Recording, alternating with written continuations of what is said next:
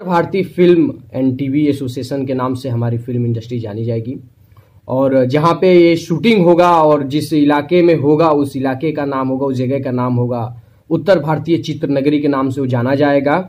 मैं इन film industry में सभी रिच जो अपने आप को बड़े बैनर और बहुत अमीर समझते हैं, जो हमें लोगों को ऐसा लगता था, हम लोग कुत्ते हैं, उनके गेट के सामने भी नहीं जा सकते थे, उनके लिए चैलेंज है। एक बात याद रख लेना जितने भी फ़िल्म इंडस्ट्री के स्ट्रगल करने वाले लोग, उत्तर भारतीयों जो आज पंद्रह साल, बीस साल से घस रहे हैं, जिन्होंने तुम्हारे गेट के अंदर एंट्री भी नहीं कर पाए तो तुम भी याद रख लेना, जिस दिन हमारी एसोसिएशन बना और उत्तर भारत में फ़िल्म शूटिंग चालू हो गया, तुम्हारी फ़िल्म को हम भी घुसने नहीं देंगे। उत्तर भारत में वही फ़िल्में चलेंगी, जो उत्तर भारत में बनेंगी। न कि जो मुंबई में सोचोगे बना के 300 करोड़ शाहरुख खान, सलमान खान, अजय देवगन या यश राज करण जौहर, जिसने भी है, हम रिलीज़ होने ही नहीं देंगे। तुम क्या करोगे? थिएटर बुक करोगे? थिएटर ही नहीं देंगे तुमको। और तुम रिलीज़ कैसे कर पाओगे? ऑनलाइन कर सकते हो करोगे पर वहाँ पे हम साइड भी, भी नहीं आने देंगे। क्योंकि ये संघर्ष तुमने आज चालीस वर्षों से किया है। चालीस वर्षों से कोई आया है? उत्तर भारतीय जो अच्छे लेवल पे गया हो नहीं आया है। क्यों? तुमने आने नहीं दिया उत्तर भारतीयों को। तुम्हें ऐसा लगता था कि ये लोग गरीब हैं आएँगे ये लोग मजदूरी ही करें। One day two day character करने के लिए हम पैदा हुए हैं। हाँ? और तुम और तुम्हारे बाप तुम्हारे बेटे मेन लीड में खड़े होंगे ना शक्ल ना एक्टिंग ना कुछ। क्या है? यही सोच रहे थे ना?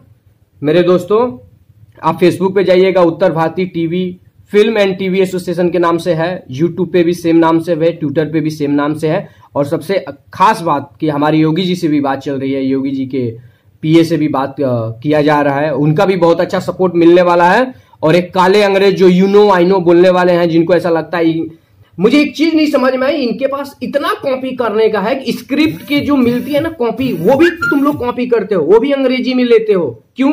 बनाते हिंदी में हो। तुम्हारी स्क्रिप्ट होती है अंग्रेज़ी में। अरे भाई, तेरा कुछ है? चूतिए लोग। पंद्रह साल से मैं भी घस रहा हूँ। पंद्रह साल। मैंने भी अच्छे एक्टर अच्छे डायरेक्टरों के साथ काम किया। मैं भी डायरेक्शन डिपार्टमेंट से हूँ। क्या है भाई? तुम जिस तुमको इतने शर्म आती है हिंदी से तो हिंदी बनाते क्यों नहीं हो? तुम्हारी औकात है हॉलीवुड जाने की। आज तक हॉलीवुड जा पाएगी तुम उसकी कॉपी मारते हो? सेट पे भी सिम खाना भी मांगना होता है। तो तुमको बहन चो अंग्रेज़ी चाहिए। बोलना होता है तो अंग्रेज़ी। राइटिंग भी करते हो तो समझ में नहीं आती। तुम सिनेमा किसके लिए बना रहे हो? काले अंग्रेज़ों के लिए बना रहे हो? कि किसके लिए बना रहे हो? तुम्हारे सिनेमा में कुछ होता ही नहीं है। एक बता दो फ़िल्म जो 200 करोड़ 300 करोड़ कमा के हिट मारी हो और उसका कॉन्सेप्ट अच्छा हो। तुम्हारी औकात भी नहीं है कि बाहुबली तक बना सको। बाहुबली एक ही बनी थी। और वो तुमने नहीं बनाई थी, क्योंकि तुम्हारी औकात ही नहीं है। बाहुबली सोच भी नहीं सकते। ओ एस एस राजमौली ने बनाई थी, साउथ इंडियनों ने बनाई थी। ऐसे हज़ारों फ़िल्में बनेंगी उत्तर भारतीयों में। उत्तर भारत में आना और देखना। और तुम, मैं कह रहा हूँ कि तुम आओगे उत्तर भारत शूट करने के लिए। ये मैं आज नहीं, दस साल बाद आओगे, लेकिन आओगे, क्योंकि तुम्हारे पास विजन नहीं है। तुम काले अंग्रेज़ हो यू नो आई नो वाले हो। तुम जाते हो, अमेरिका जाते हो, वहाँ से सीख के आते हो। क्या सीख के आते हो? अमेरिका में सीखते क्या हो? वही, कैसे कॉपी मारनी है? अरे, अमेरिका से आके कोई अच्छी फ़िल्म बनाए होते हैं। यहाँ पे बोलते you know bro is the US return अरे फक चूतिए हो तुम। तुम यूएस रिटर्न नहीं, भोसड़ी के वहाँ पे जाके किए।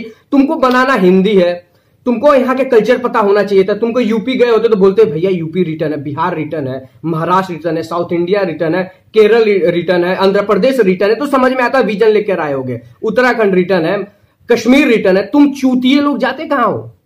कहाँ जाते हो? अमेरिका रिटर्न अरे, अमेरिका के कल्चर और इस कल्चर में फ़र्क है। अमेरिका के सिनेमा में, यहाँ के सिनेमा में फ़र्क है। यहाँ की स्टोरी और अमेरिका की स्टोरी में फ़र्क है, लेकिन तुम्हारे पास विजन नहीं है। तुम सिर्फ़ कॉपी मारना ही जानते हो और यू नो आई नो करना जानते हो। तुम काले अंग्रेज़ कान के साथ साथ सारे सुराख खोल के सुन लो।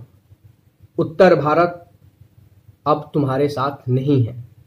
तुम अपनी एक अलग इंडस्ट्री बना लिए हो, हमने अपनी अलग इंडस्ट्री बनी तुम्हारी जो इंडस्ट्री है वो रिच है, अमीरों की है, परिवारों की है जितने भी एक्टर डायरेक्टर प्रोड्यूसर है, उनकी इंडस्ट्री है, हमारी नहीं है। हम तो बस तुम लोगों ने ऐसा भाव बनाया रखा है कि भाई, हम 135 करोड़ आबादी की इंडस्ट्री तुम्हारे 135 करोड़ की आबादी की इंडस्ट्री है। हा? कितने 135 करोड़ में से लोगों को तुमने एक आम आदमी को एक्टर बनाए हो? आज पिछले जब से इंडस्ट्री बनी है, तुम्हारे बाप, दादा, परदादा यही चले आ रहे हैं। हम लोग तो आते हैं साइड में कुछ कर लिए छोटे मोटे कर लिए, बस हो गया हो गया, उसमें से किसी की हज़ारों में से एक कुछ निकल गया तो निकल गया। लेकिन अब ऐसा नहीं होगा। तुम लोग सिनेमा बनाओगे, अपने घर में ही देखोगे। क्योंकि है तुम्हारे पास, तुम्हारे बेटे लॉन्च होंगे, वही देखा जाएगा। हमारी जो सिनेमा होगी, उत्तर भारतीयों के लिए सिनेमा जो होगी, वो पूरा विश्व देखा जाएगा, क्योंकि हमारे कंटेंट होंगे, हमारे विजन होंगे, हमारी स्टोरी होगी। हम कोई अमेरिका जाने वाले नहीं है। हम कॉपी तो तुम्हारे बिल्कुल नहीं मारेंगे। क्यों? क्योंकि तुम्हें तो अपनी स्क्रिप्ट पे भरोसा नहीं होता है, चूतिए लोग। मैं हर एक उस चूतियों को बोलता हूँ, जिसके सेट पे हिंदी सिनेमा बनता है और उसके स्क्रिप्ट होती है अंग्रेज़ी में। उस चूतियों को बोलता हूँ एक एक चूतिए को। और मेरा कुछ उखाड़ सकते हो तो उखाड़ लेना, अभी नाम है मेरा। और तुम क्या काम दोगे? तुम तो कभी भोसड़ी के दे भी नहीं सकते, क्योंकि तुम लोग अपने बाप, दादा, भाई, ताता, चाऊ को दोगे। यश राज, बोला जाता है कि बहुत बड़ा बैनर है। करण जोहर बोला जाता है, बहुत बड़ा बैनर है। शाहरुख खान का बहुत बड़ा बैनर है। मैं पूछता हूँ अभी चूतिए लोग, किसी एक आम आदमी को तुमने आज तक चांस दिया है? तुमने अपने रिलेशन में दिया है। तो तुम बड़े का? आएगा तुम, ये अभी चल रहा है लॉकडाउन का समय चल रहा है। तुमने कितने मजदूर, कितने लोगों को घर पे जाके खाना दिया है? कितने आर्टिस्ट आज भी जाके वर्षों में देखो, आराम नगर में देखो, आदर्श नगर में देखो, कितने लोग भटक रहे हैं? उनके पास खाने के लिए नहीं है। एक डायरेक्शन एसोसिएशन है जो हमारी फ़िल्म इंडस्ट्री में इफ्टा करके उसने दिया है तीन तीन हज़ार रुपये। वो भी किनको दिया है? जिनका मेंबर है बेगर मेंबर के भी हैं। मेंबर लोग जो नहीं बने हैं, उनका क्या है? क्यों उनके पास कमाई नहीं है तो मेंबर नहीं बन सके? अब वक्त बदल गया है। उत्तर भारतीय फ़िल्म एंड टीवी एसोसिएशन बन चुका है। और हम लोग आज, हम नहीं कहते हैं कि एक दिन में हम बना देंगे, हम तीर मार देंगे, लेकिन आने वाले दस साल तो लगेंगे। दस साल में देखना कि अभी किसी नाम के बंदे ने बोला था और अपनी एसोसिएशन बना के रखा। हम लोगों ने बनाने के पहल में चालू कर दिया है।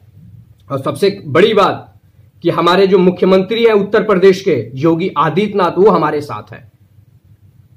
और हमें किसी की ज़रूरत भी नहीं है। हमारे लिए योगी आदित्यनाथ ही काफ़ी हैं। अगर एक योगी आदित्यनाथ हैं? ऐसे ऐसे पचास योगी आदित्यनाथ उत्तर प्रदेश में खड़े होंगे और ऐसे ऐसे मैं एक अभी खड़ा हुआ ऐसे हमारे जैसे हज़ारों अभी खड़े हो रहे हैं। पहले हमने जब स्टार्ट किया तो हम दो लोग थे, विनय पांडे और मैं। आज हमारे साथ तेरह सौ लोग हैं। सिर्फ़ कितने दिन में? दो दिन में।